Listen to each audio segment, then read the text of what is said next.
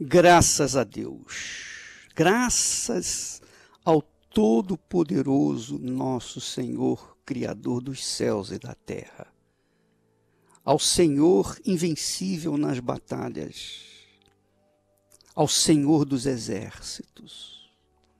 Ainda que a figueira não floresça, nem haja fruto na videira, ainda que o produto da oliveira não venha, e os campos não produzam mantimento, ainda que as ovelhas sejam arrebatadas do aprisco e os currais não haja gado. Todavia, eu louvo e agradeço ao Senhor dos Exércitos. Exulto no Todo-Poderoso, o Deus da minha salvação. Ele é a minha fortaleza. Ele faz os meus pés como os da corça e me faz andar pelos altos montes. Aleluia. A Ele toda a honra, toda a glória, majestade, porque Ele é o mesmo. Ontem, hoje e para sempre. Amém. E graças a Deus.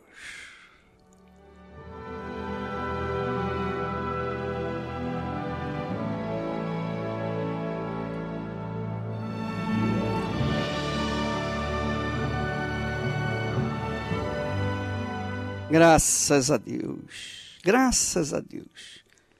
Eu ontem estava assistindo o caso da Marcela. A Marcela foi uma obreira que durante dois anos trabalhou para o Senhor Jesus, ajudou outras pessoas.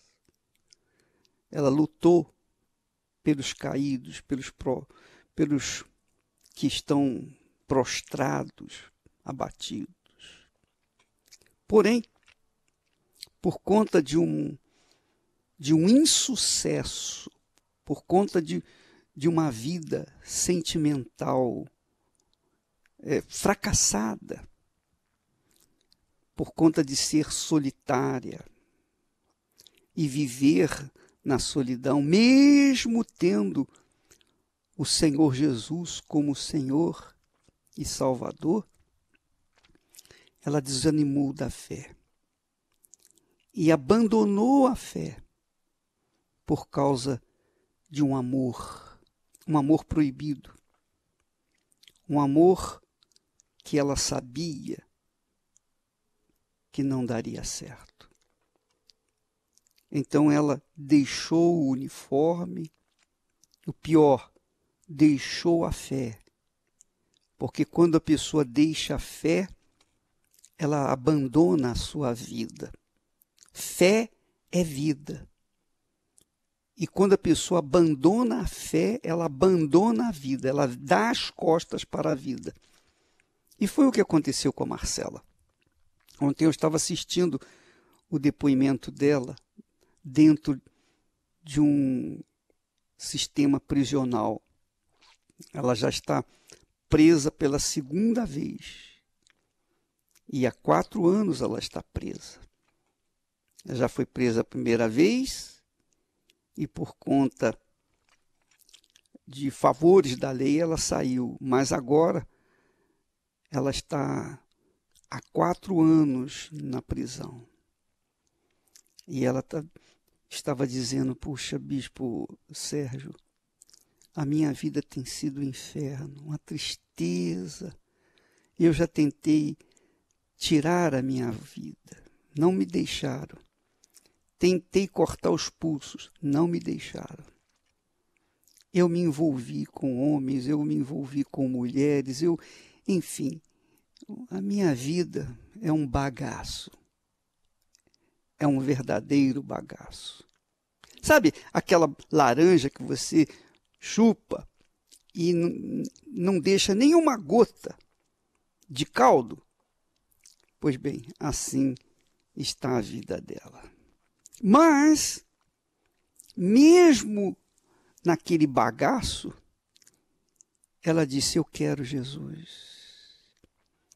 Eu me arrependo do que eu fiz, eu me arrependo de ter deixado a fé, eu me arrependo do que eu fiz no passado. E eu quero Jesus novamente. Até me faz lembrar daquele ex-pastor que hoje é pai de santo e disse: Eu tenho saudades de Jesus. Eu tenho saudades de Jesus. Então, essas pessoas que, apesar dos pesares, quer dizer, apesar de terem caído, apesar de estarem vivendo o lado avesso da vida, elas têm ainda resquícios, sinais da fé. Por mais débil, por mais fraca, por menor que seja essa fé, isso já é um sinal de Deus. Isso é um sinal de Deus. Isso é uma chamada de Deus. Deus escolheu você, minha amiga, meu amigo. Ainda que você hoje seja um pai de santo, uma mãe de santo, ainda que você esteja na cadeia, ainda que você seja um criminoso, uma pessoa nociva à sociedade, não importa. É como diz o texto que eu li ainda há pouco, ainda que a figueira não floresça. Quer dizer, ainda que você não tenha a sua vida florescida, nem haja fruto em você. Ainda que você pareça uma árvore seca, ainda existe uma esperança, e eu tenho certeza, e eu falo isso com a mais absoluta convicção. Eu tenho certeza que essa fé, por menor que seja, ainda que você esteja servindo a Satanás, você esteja vivendo um pedacinho do inferno, mas você ainda tem um resquício de fé. Essa fé, exatamente essa fé, é um sinal de Deus é uma chamada de Deus, é um telefonema de Deus para você, é uma, é uma chamada dele para você. E ele não deixou você, Marcela, cometer o suicídio porque ele escolheu você. Ele escolheu você. E você pode procurar a morte, a morte pode procurá-la por todos os cantos da terra que não vai encontrá-la. Por quê? Porque Deus separou você. Ele sabe que você é dele. E que cedo ou tarde você vai sair dessa prisão, você vai deixar essa vida errada, assim como esse rapaz que era pastor e que hoje é pai de santo, ele sabe, Jesus sabe que você vai sair disso. E o diabo também sabe.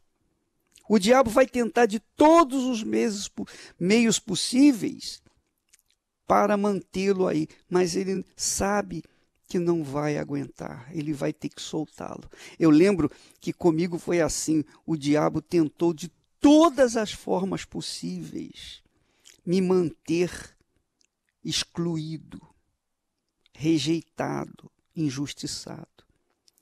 Mas finalmente aconteceu. Aconteceu a revelação da vontade de Deus. E aí não tinha mais nada que o diabo fazer na minha vida senão soltar e deixar que a luz penetrasse. E assim é com você, Marcela. E você também, rapaz, que está aí dando consultas para os outros, você sabe que é uma enganação, mas você está fazendo isso porque você não sabe fazer mais nada, você não tem nada para dar, então você dá aquilo que tem. Mas o Senhor Jesus estende a mão para você. Ainda que a sua vida não tenha mais esperança, não, ainda que o seu corpo seja manipulado pelo próprio Satanás, não importa.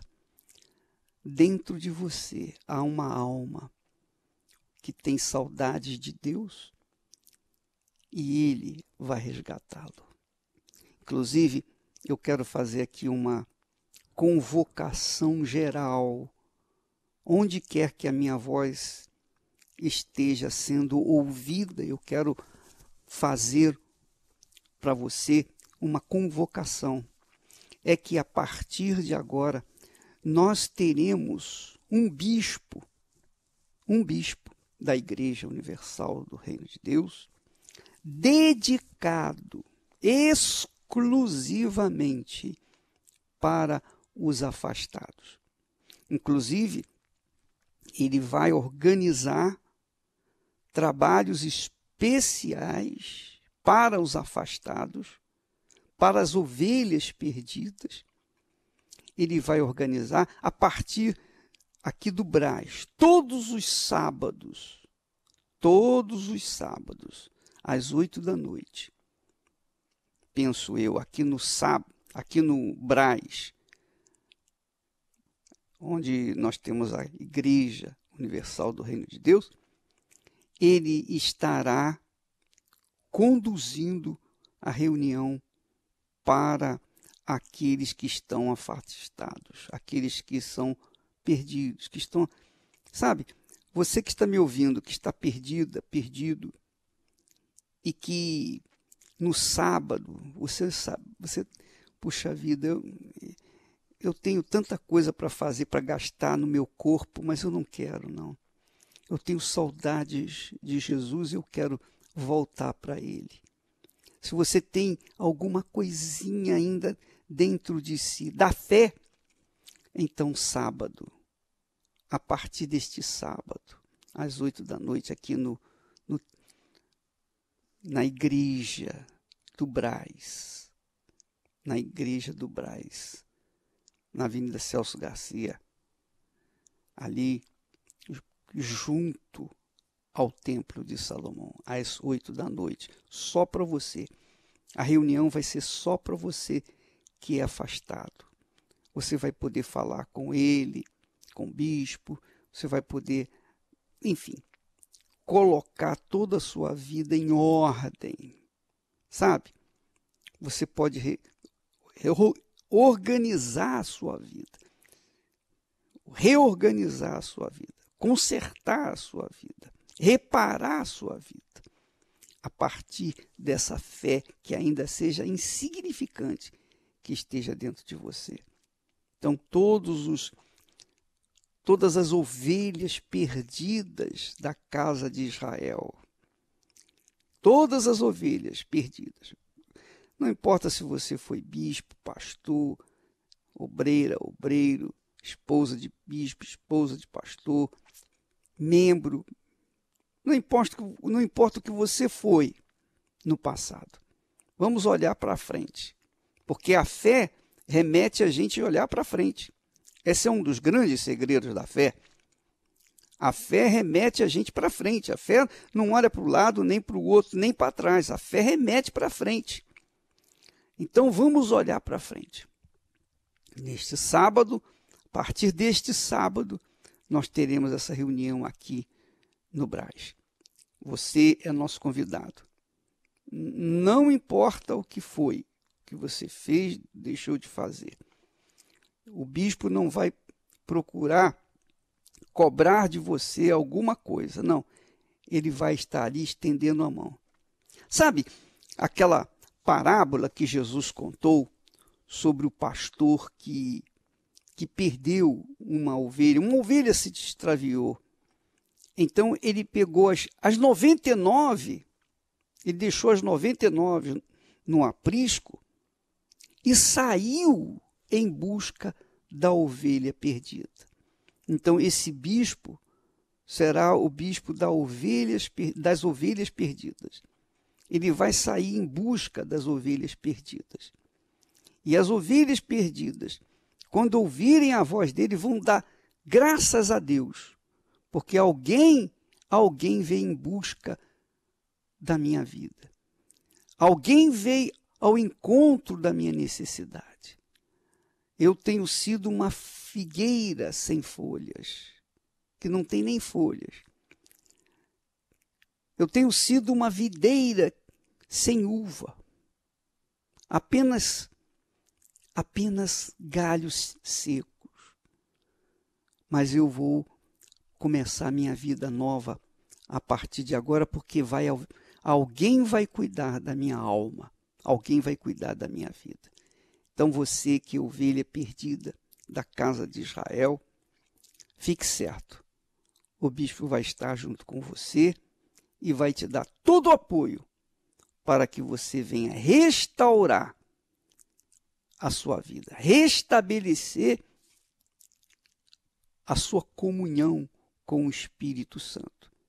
E quem sabe, voltar ao altar para servir o Senhor do altar, o Espírito do altar, o Espírito Santo. Amém? Então, minha amiga, meu amigo, fica este convite para as pessoas que moram em São Paulo. Agora, bispo, eu estou no Rio, eu estou em Goiás, eu estou em Manaus, eu estou no Maranhão, não importa onde você estiver.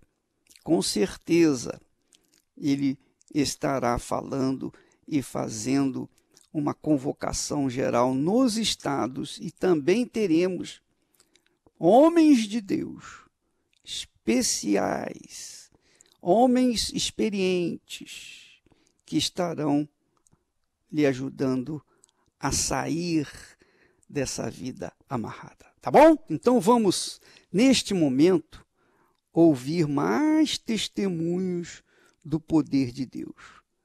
Vamos ver o que, que o Espírito Santo, o Espírito, o Espírito do altar tem feito com as pessoas que têm subido no altar e colocado e sacrificado a sua própria vida. Vamos ouvi-los. O Senhor sabe o que é miséria, né, o senhor Adel? Sei, bispo. Quando eu, até os oito anos de idade, nós tínhamos uma condição financeira muito boa. E depois dos oito, nós, meu pai perdeu tudo. Nós ficamos pobres mesmo de passar necessidade. É, e aos 15 anos ele veio a falecer. E eu tinha 15 anos de idade e tive que começar a trabalhar para poder sustentar a minha família, né? Minha mãe e meus quatro irmãos. Depois, aos 19, casei e continuei vivendo aquela vida miserável, mesquinha, pequena, sem nada. Dava um passo para frente e dez para trás. Foi assim que eu cheguei aqui na. Quando em 2009 eu vim para a igreja pela primeira vez, eu ouvi falar da fogueira santa, mas ouvi aquela segunda voz que dizia: não faça não, para que isso?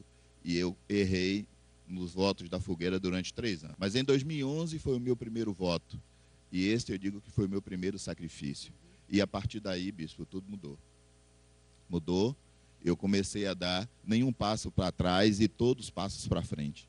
Hoje eu tenho um conglomerado de empresas, né? tenho casas, tenho carro, tenho carros, inclusive. O meu carro que eu uso hoje, ele compra oito apartamentos do que eu vivia e não tinha condição de comprar. Então, as minhas empresas hoje estão indo muito bem, não existe crise no nosso negócio.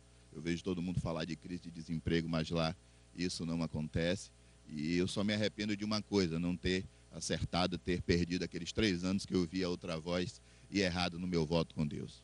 Hoje, as minhas empresas ela é líder de mercado aqui na Bahia, né? Inclusive no Nordeste, é a maior do Nordeste. Eu tenho casas, eu tenho carros, eu tenho. Inclusive os escritórios são de última geração, escritórios caríssimos. E isso foi o que Deus me deu. Toda a direção eu tiro aqui do altar. Então o senhor aprendeu que no altar, fazendo de fato o verdadeiro sacrifício, a coisa acontece mesmo. Aprendi e pretendo não errar mais, viu? Muito obrigado, senhor Adelmo. Eu me chamo Paulo. Eu me chamo Roseli. Eu cheguei à Igreja Universal com a vida no chão, muitos problemas, tanto no casamento como na vida financeira. A gente lutava, batalhava para ter uma vida estável e não conseguia. Todo o dinheiro que entrava não era suficiente e nisso a gente foi adquirindo dívidas. E através dessas dívidas, o meu esposo teve uma depressão. Eu sofria demais, tinha vontade de, de morrer, porque eu adquiri esse, esse problema por, devido à minha empresa estar devendo mais de 300 mil dólares, que aos olhos humanos era impagável. Deixamos de fechar contratos, as portas se fecharam totalmente. E daí foi da onde que meus filhos começaram a passar necessidade dentro de casa. Nós tivemos tanto problema financeiro que os meus filhos tinha dia que não tinha nem um leite para tomar, nem uma bolacha para comer. O sustento é a coisa mínima e básica que o ser humano tem que ter dentro de casa, que seria o quê? O arroz, o feijão, a coisa mínima. Isso tinha dia que não tinha. Tinha dia que a gente tinha que ter atrás de cesta básica. Da prefeitura. Da prefeitura para poder se alimentar. E o meu filho, sempre pai, eu quero um Danone que custa, meu pai do céu, uma coisa mais irrisória no mundo. Mas para nós, na, naquela, naquela época, era a coisa mais difícil de comprar, até um Danone, uma bolacha, um pacote de bolacha. E eu me lembro no dia em que nós tínhamos marcado uma viagem para São Paulo, e, e, quando nós chegamos aqui, no mesmo instante nós tivemos que voltar para Presidente Prudente. Por quê? Porque o oficial de justiça ligou e falou que tinha tirado todos os nossos móveis de casa tinha deixado num barracão e a gente praticamente estava sem moradia, sem casa. E como se não bastasse tanta humilhação, nós vivíamos uma vida de brigas. E eu me recordo um dia que nós brigamos tanto, eu e ela, que foi que arrancou sangue um do outro. Aí ela chamou a polícia. Os vizinhos ficaram horrorizados. Nessa época eu tinha conhecimento da Igreja Universal, porque uma irmã minha já tinha me apresentado à Igreja Universal, já tinha me convidado a ir à Igreja Universal. Só que eu não levava nada a sério. Eu não tinha um compromisso com Deus. Mas diante dessa dificuldade do casamento, logo após que eu me casei, que eu vi que só Deus poderia mudar a minha vida, eu comecei a ter um compromisso com Deus. Um compromisso de, de fidelidade, um, um compromisso de honrar a Deus, de colocar a Deus acima de tudo. E eu comecei a participar das reuniões. Eu não era mais uma frequentadora. Até que um dia eu convidei ele para ir comigo até a Igreja Universal. E ele aceitou o convite. E chegando lá, foi apresentado para mim uma fé inteligente, aonde que aquele vazio que existia dentro do meu peito, aquela vontade de, de morrer, aquilo dali já começou a, a sair do meu coração. Por quê? Eu comecei a pensar. Falei, meu Deus, aqui está a solução do meu problema. Aqui está o Deus que, que, que, que criou o universo, o Deus que é vivo. Então aqui está a mudança da minha vida. E daí em diante começamos a exercitar a fé juntos. Quando nós ouvimos falar da fogueira santa do Monte Sinai, nós entendemos a proposta. Foi aí que nós vimos a oportunidade de mudar aquela situação. Nós nos lançamos, de fato e de verdade. O maior dos meus sonhos vou levar para o Sinai, pois sei que há um Deus se eu crer. E foi aí que Deus começou a honrar. E daí em diante, as maravilhas de Deus começaram a acontecer na minha vida. A depressão desapareceu. E na vida financeira, eu passei a ter ânimo para trabalhar. Aquele, aquela dívida que era impagável de 300 mil dólares, fechei um contrato grandioso e através desse contrato eu quitei aquela dívida de 300 mil dólares. E hoje o nosso casamento foi restaurado, né? Temos uma empresa estruturada, nós moramos numa casa ampla, confortável, decorei do jeito que eu quis. Nós temos o nosso carro zero e a nossa empresa prosperando a cada dia. E nós, como qualquer outra pessoa, passamos por problemas. E recentemente fui diagnosticada com câncer de intestino, mas eu já sabia o caminho caminho do altar, do sacrifício.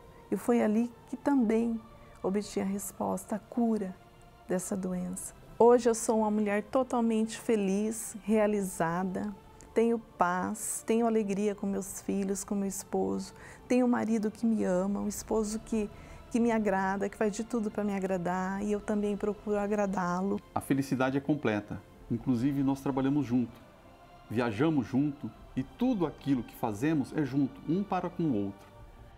E hoje o que temos de mais importante na nossa vida é a presença de Deus. No meu lar, na minha casa, na minha família. Ele é a base da minha felicidade, da minha família. Tudo que eu tenho vem da mão dele, vem do altar. Eu devo tudo ao altar. É o caminho pra quem quer vencer. Pois é, o altar está aí. Você que mora no interior, hum, você que mora é, numa cidadezinha pequenininha ou fora da cidade, procure uma igreja universal do Reino de Deus e o altar, aquele altar, a igreja pode ser menorzinha, mais simplesinha, mas ali tem um altar. Ali tem um altar. E no altar da Igreja Universal do Reino de Deus, há o espírito do altar, o espírito de Deus, para receber a sua vida como oferta em sacrifício. E aí muda a sua vida. Muda por completo, porque você dá a sua vida, dá a sua alma, você deposita a sua vida no altar e Deus, na hora, na hora, imediatamente, em resposta à sua oração, a sua entrega, ele devolve uma vida nova para você. Uma nova vida com o Espírito de Deus. Essa é a proposta da Fogueira Santa. Vida por vida. A sua vida pela vida nova que o Senhor Jesus tem prometido e dá para aqueles que se entregam de corpo, alma e espírito. Nós vamos chegando ao ponto final do programa. Que Deus abençoe a todos em nome do Senhor Jesus e até amanhã neste horário nesta emissora.